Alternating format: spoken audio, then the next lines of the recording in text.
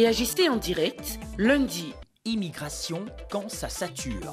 mardi, Immigration, la clandestinité est-elle coûteuse comme raccourci mercredi, Relations presse-people, célébrités africaines. Je t'aime, moi non plus.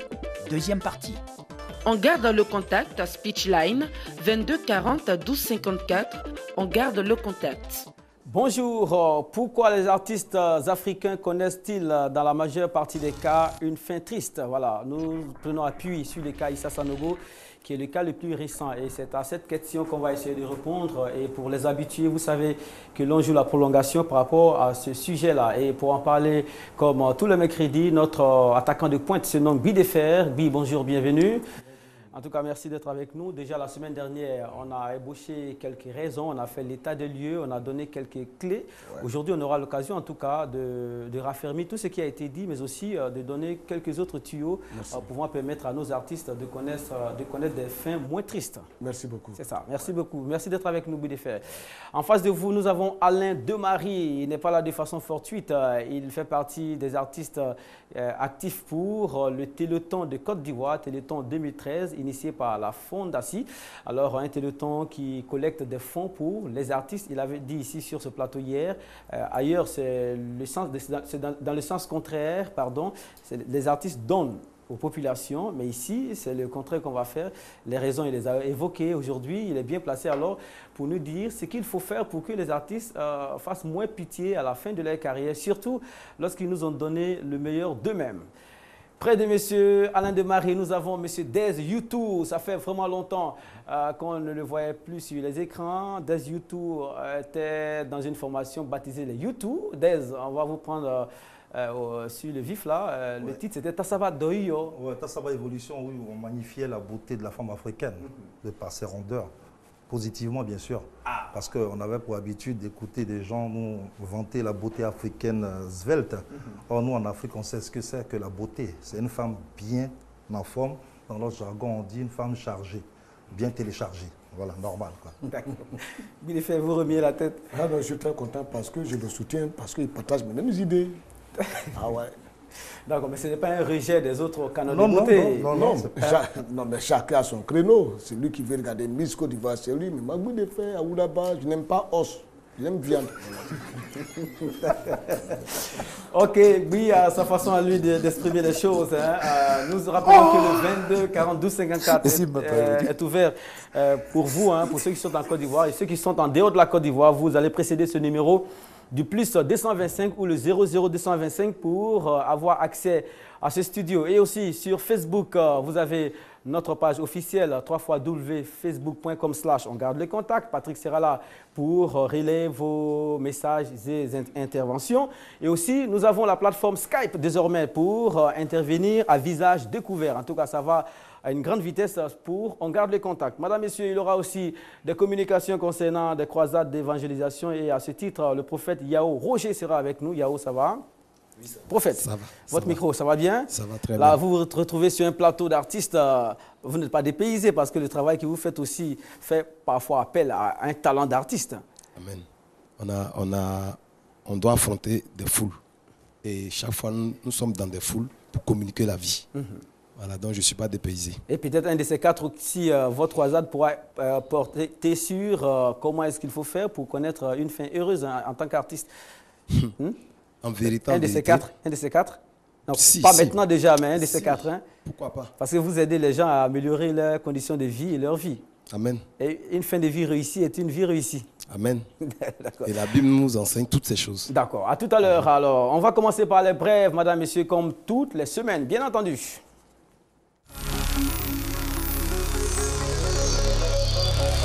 Ah, chez nous pays est un concept très intéressant et très original qui commence à faire des vagues ici en Côte d'Ivoire. Il s'agit d'un concours de danse traditionnelle initié par une équipe qui a à cœur de faire en sorte que les danses traditionnelles et la culture africaine et ivoirienne par extension, en tout cas, se retrouvent en première ligne. Donc après l'étape de Korogo dans le district des Savanes et à Diaké dans le sud Komoué, l'équipe de production de ce concours-là a déposé ses valises le 10 novembre dernier à Djangomenou, village situé à 23 km de Toumoudi dans la région du Bélier. Compte rendu.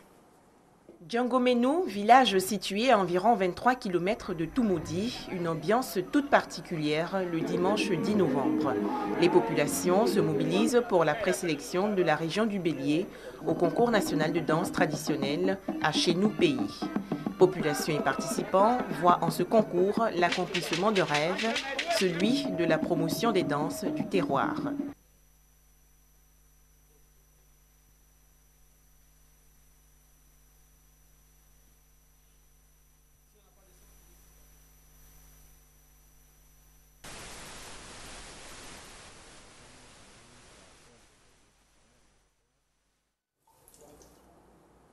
Voilà, un souci technique, hein, euh, un problème de son, mais retenez que à l'issue de ce concours, euh, le Goli, Goulin et la Djemele ont obtenu leur ticket pour la finale prévue pour le samedi 28 décembre ici à Abidjan. En tout cas, un concours euh, de danse traditionnelle ici en Côte d'Ivoire, un concours qui sillonne tout le pays. Euh, c'est bel et bien le concours baptisé à chez nos pays. En tout cas, ça existe désormais. Si vous avez vos troupes de danse, si vous avez euh, un village en tout cas qui a besoin de montrer ses richesses, il faut tout faire pour prendre la tâche avec l'équipe de production de euh, ce concept-là. La prochaine étape des présélections euh, se fera donc à Yopougon le dimanche 17 novembre à la place Figayo. Alors, on nous a beaucoup reproché de faire la promotion des danses urbaines d'Aise. Ce concours-là vient à un bon moment. Mais ce concours vient à un très bon moment parce qu'il est temps et grand temps maintenant que nous les Africains, nous comprenions que la culture vient de chez nous.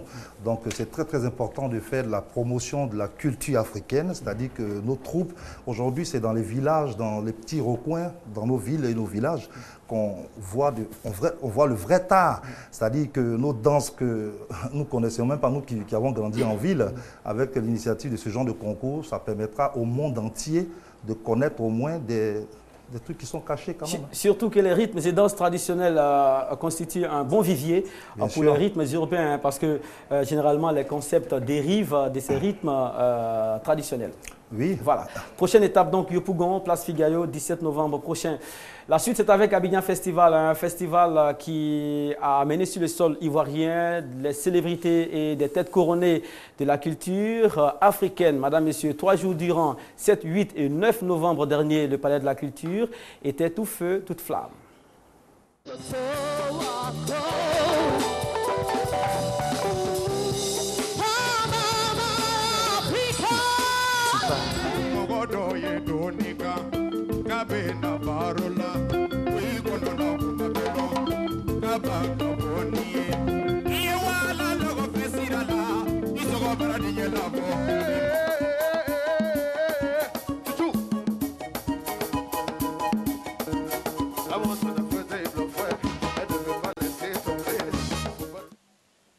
Catégorie meilleur espoir féminin Côte d'Ivoire, la lauréate est Bamba Amisara.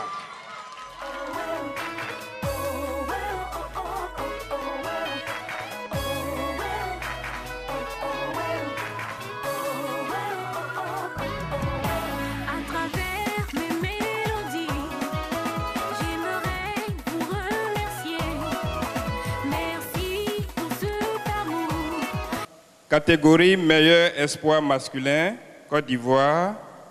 Le vainqueur est Dolly Ziana.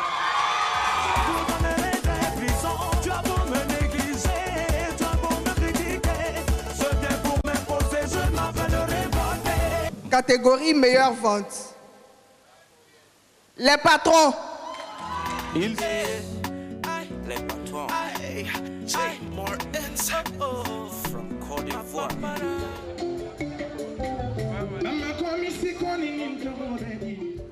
Voilà, à la clé, il y a eu un grand concert donné par euh, Sekouba Bambilo que l'on a réussi ici dans le cadre de 10-11, euh, une production RTI Musique diffusée sur RTI 1.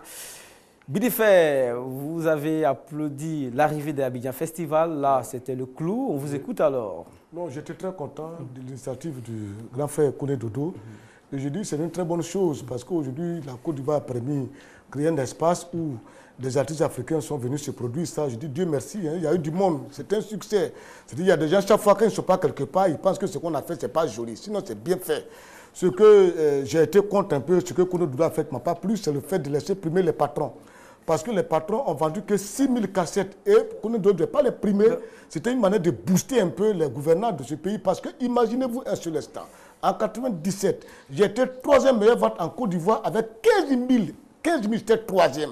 Mais cette année en Côte d'Ivoire, pendant qu'on est en train de parler de l'émergence 2020, on vend 6 000 cassettes et on est meilleur. Qu'on doit dire ce matin, il a même dit, il dit ça l'a choqué.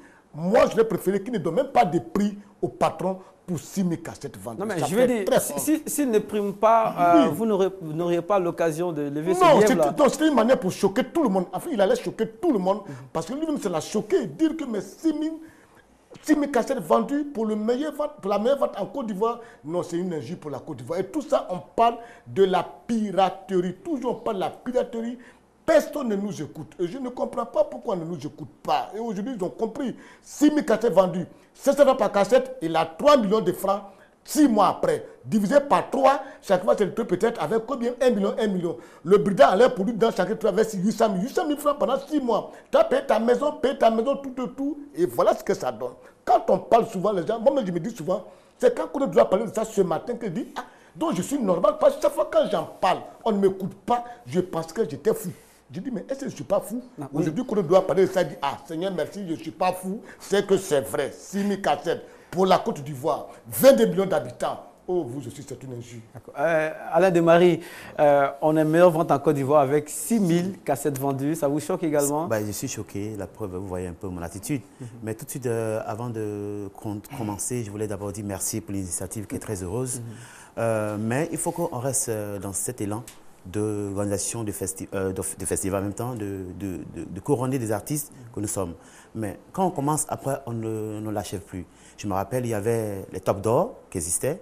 Il y avait Ebony Music Awards qui a disparu. Aujourd'hui, on a Festival de musique. Après, demain, il y aura, autres, ils ne vont pas exister, d'autres vont venir. Donc, j'ai l'impression qu'une personne qui a envie de faire euh, parler d'elle seulement, mais elle ne met pas l'accent sur l'art, sur la musique en tant que telle. Donc je me dis qu'on a faim, donc on a cherché à organiser quelque chose.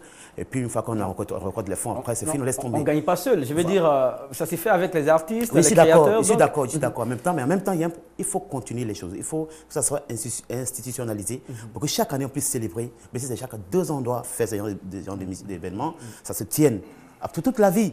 Parce que nous, on a connu le Top d'Or. Moi, j'ai participé au, Top d'Or, j'ai participé à Musique et Music Awards. Tout ça, j'ai participé. Aujourd'hui, c'est passé où Aujourd'hui, on a un festival de musique. Donc, j'encourage l'initiative, mais je demande à, que, à ce que vraiment ça soit pérennisé. D'accord. Donc, vous demandez qu'on donne de la force hein, à, ces festivals. Tout à fait. Puis en même temps, pour compléter, au, niveau, au niveau des ventes, ah. euh, vous voyez, comme euh, M. Bidefait vient de le dire, ce n'est pas normal dans un pays comme la Côte d'Ivoire, où l'émergence 2020, qu'il y a encore des artistes qui vendent encore 6 000 CD je vais dire meilleure vente. Oui, meilleure vente.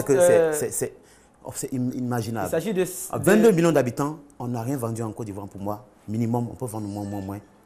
5 millions. on sait de quoi vous parlez, hein, parce que chacun a l'œuvre de, des patrons à la maison. Donc 5 millions. Euh, les œuvres écoulées dépassent les 6 000. Euh, non, mais euh, c'est le budget les œuvres légales, je veux dire, oui, je suis d'accord avec vous. Les œuvres légales hein, sont au nombre de 6 000, c'est ça. mais c'est bien, je veux dire que moi j'encourage en même temps, ça veut dire que ça réveillait tout un chacun de prendre ses responsabilités, l'État lui-même de penser à ses responsabilités aujourd'hui. Toutes les solutions, les mécanismes qu'il faut pour permettre à ces artistes vraiment de vivre de leur métier, de ne pas mourir comme on le, voit comme ça. D'accord. Bravo en tout cas aux patrons, bravo aux organisateurs de Abidjan Festival. Euh, Alain Desmarie a dit quelque chose de très intéressant. Il faut raffermir ces festivals pour que ce soit de véritables références.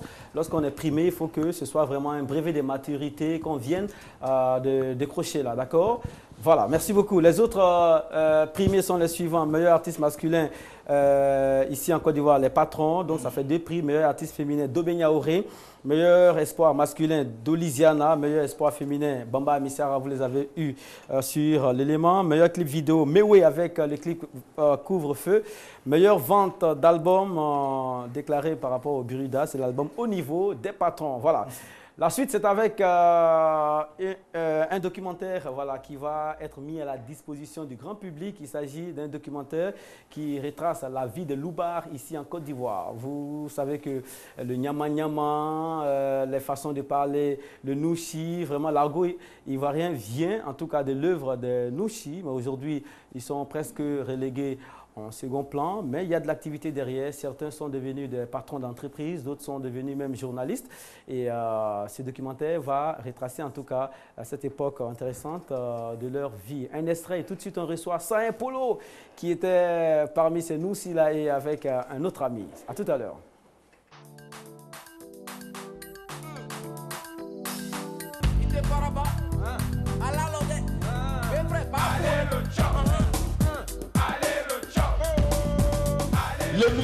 L'émission, qui rencontre toute la population, l'émission qui rencontre toute la rue, l'émission du plus spatial, l'émission off et l'émission hors séria. Aujourd'hui là, on va débattre, mais vous allez prendre parce que il y a morts que la rue ne pouvait pas penser qu'on pouvait les découvrir.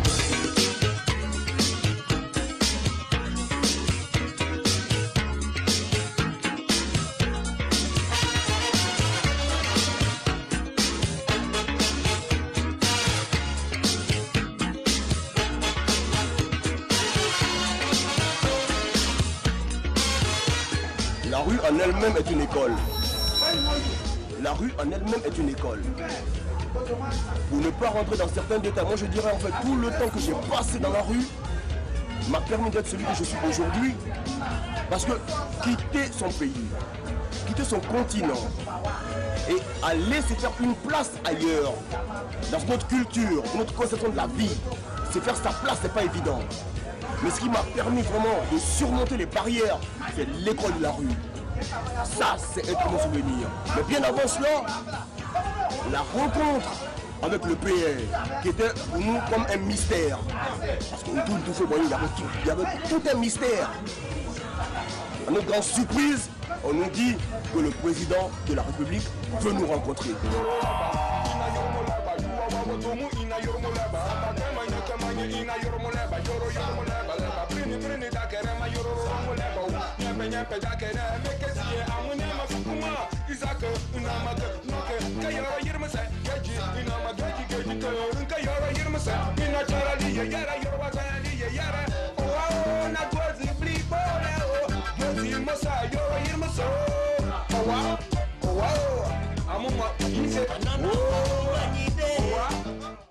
Le mouvement de la rue, incarné donc par les, euh, ce qu'on appelait entre autres les, les les loubards et tout ça, ont euh, quand même euh, donné une impulsion particulière à la culture urbaine ivoirienne.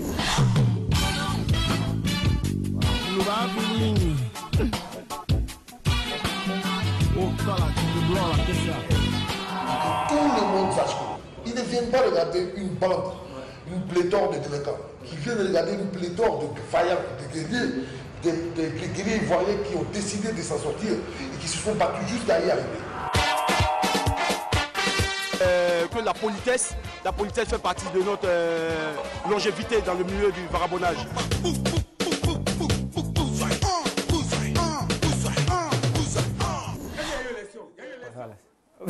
D'accord.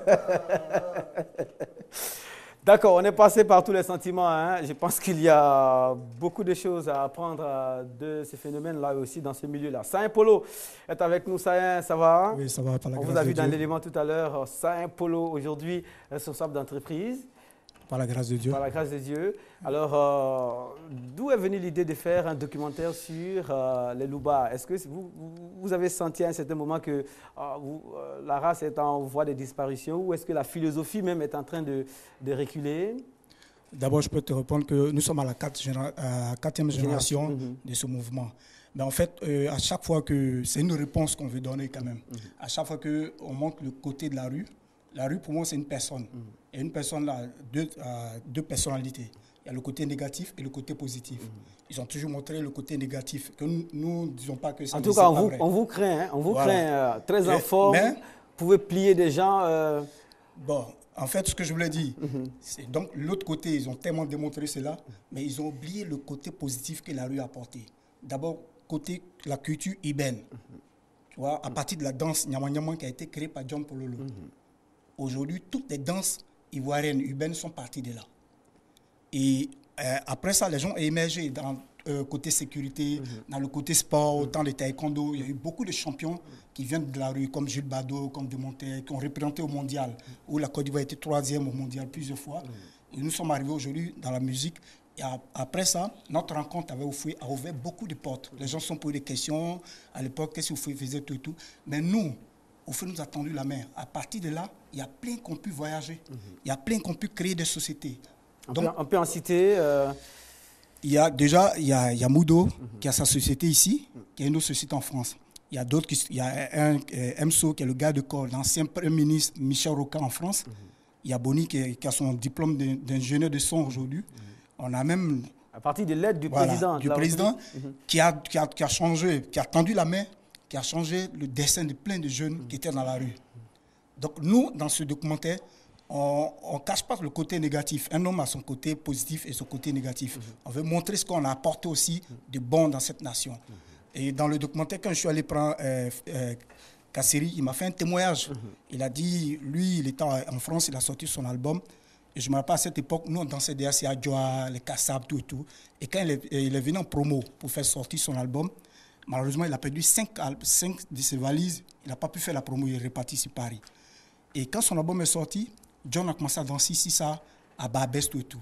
Et après, ça a pris toute la Côte d'Ivoire. Et Fusion Cassi, il vu en France, il lui a dit retourne à Abidjan parce que ta musique, les Louba l'ont mis en, en valeur. Et quand il est venu, il a vu, c'est là, il a pris Gore, il a pris Père son nom. Alors que sa maison de disques lui avait déjà Donné des danseurs. des et tout danseurs ça. professionnels, Et tout, il a préféré prendre euh, Voilà. ça, la, la Donc en fait, c'est- juste, euh, on, on essaie de raconter un peu l'histoire de, la Côte d'Ivoire à travers le mouvement. D'accord.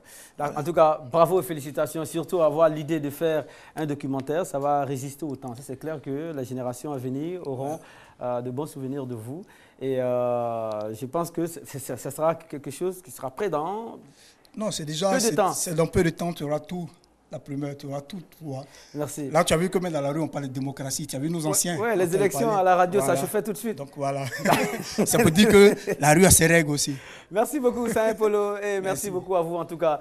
Et vous restez avec nous, on va vous amener dans une autre actualité ici en Côte d'Ivoire. C'est Africa Fashion de Isabelle Arnaud. Nous en sommes à la euh, édition. On va vous passer un extrait et si tout se passe bien. Elle sera avec nous au téléphone. La mode que nous avons pensé, que nous avons réfléchi et qui aujourd'hui est un fruit mûr. Bonne soirée à tous. Je vous remercie.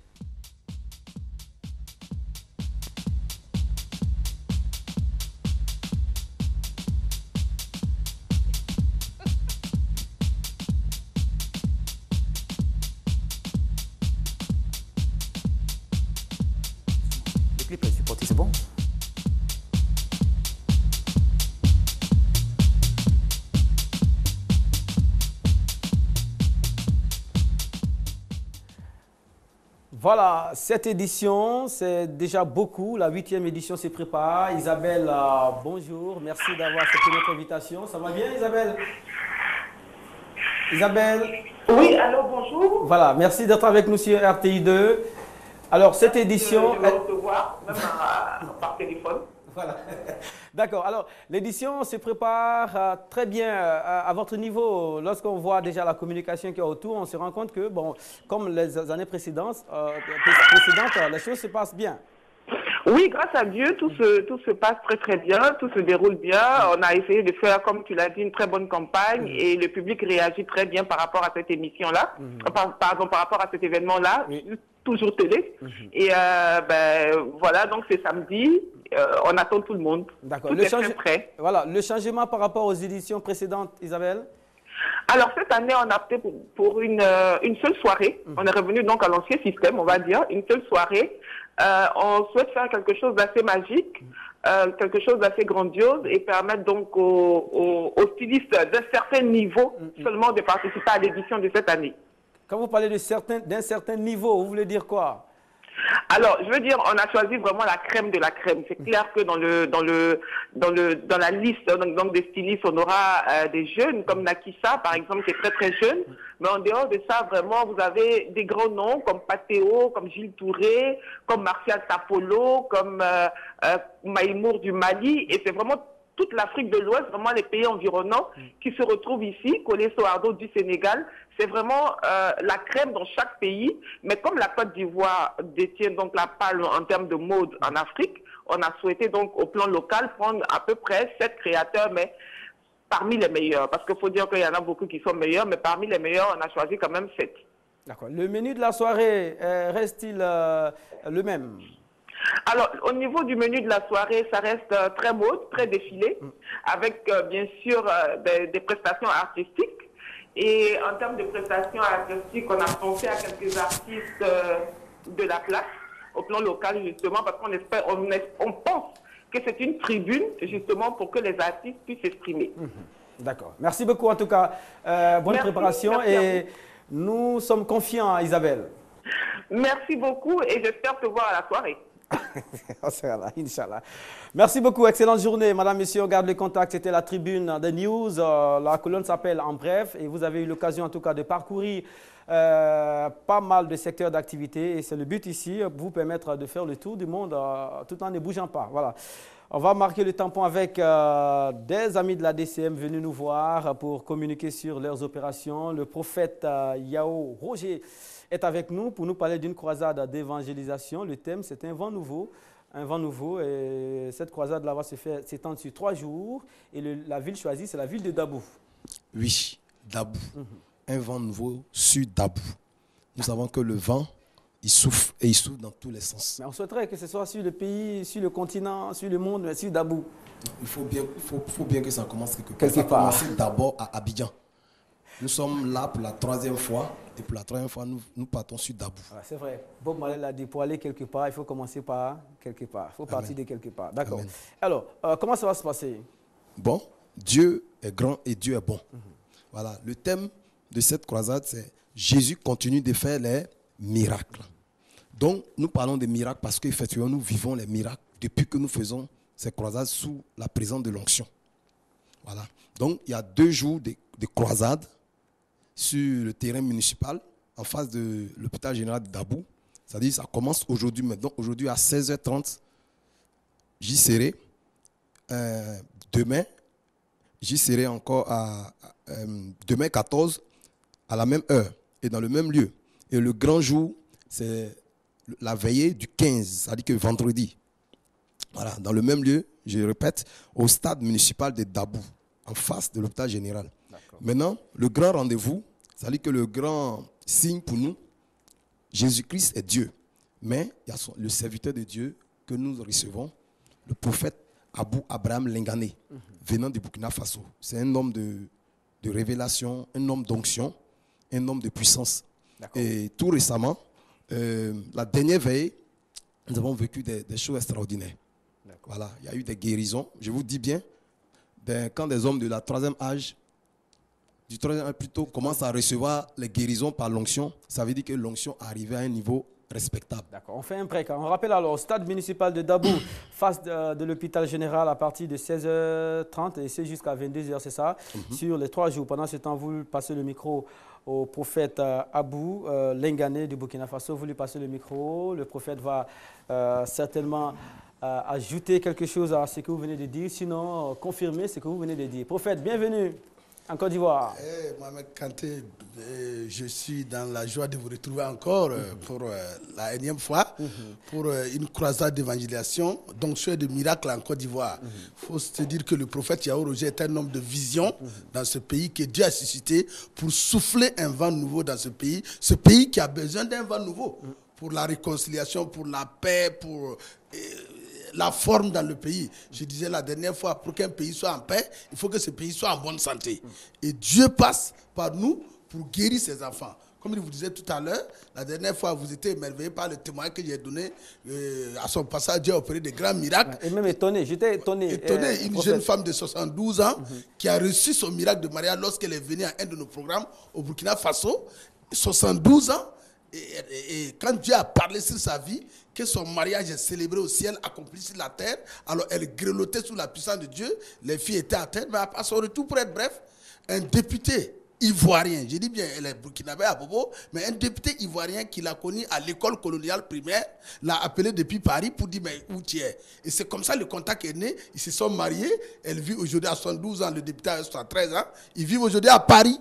Elle a, elle a, 74 ans. L'espoir. Avec un mariage, de, à 72 ans, tu te retrouves à Paris à ton mari. Et les jeunes filles de 38 ans, 40 ans pleurent. Je les invite tous à Dabou. Quel que soit là où tu es, Dieu est toujours là pour ouvrir la porte de ton mariage. Et quand il parlait de la guérison tout à l'heure, là, il a oublié les papiers dans la voiture, dehors, mais cet homme-là sera à Dabou. C'est un vieux retraité qui est à Bergerville.